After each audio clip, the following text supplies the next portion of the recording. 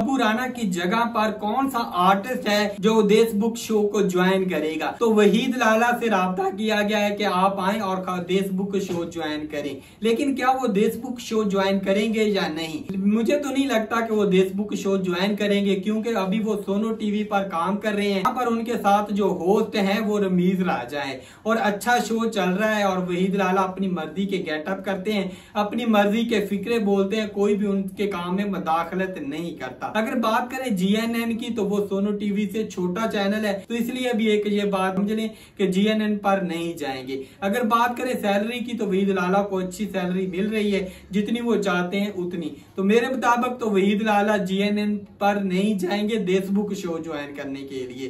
तो आने वाले दिनों में अगर किसी और से रहा किया जाता है या कोई और चैनल ज्वाइन करता है तो हम आपको उसके बारे में भी लाजमी बताएँगे तो आप इस चैनल को लाजमी सब्सक्राइब करें।